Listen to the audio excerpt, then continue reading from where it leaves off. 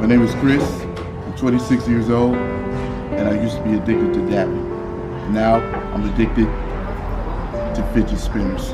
I started out with, you know, the cheap ones.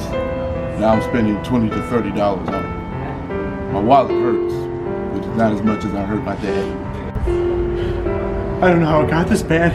Started out with just one, and then it was 10, and where does it end? I fidget when I smoke my vape, when I sleep, when I wake up, when I grill out, when I'm watching porn, every day, all the time. Ow! Ow! Ow! Using the point God damn it! Turns out fidget spinners aren't a good way to pick up chicks.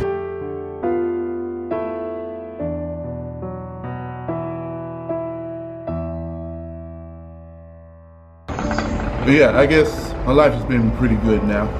Thank you.